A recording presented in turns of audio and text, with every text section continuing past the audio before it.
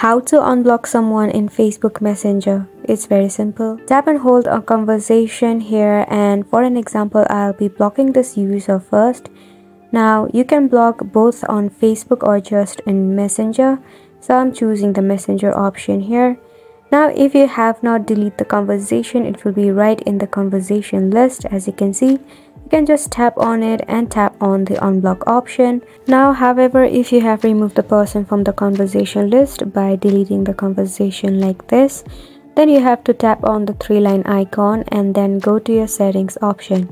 From here tap on privacy and safety option and you will find blocked accounts now you will see the person right here. And just by clicking the minus sign next to unblock messages and call you'll be able to unblock this person. Isn't it simple? Make sure to give it a try and thank you so much for watching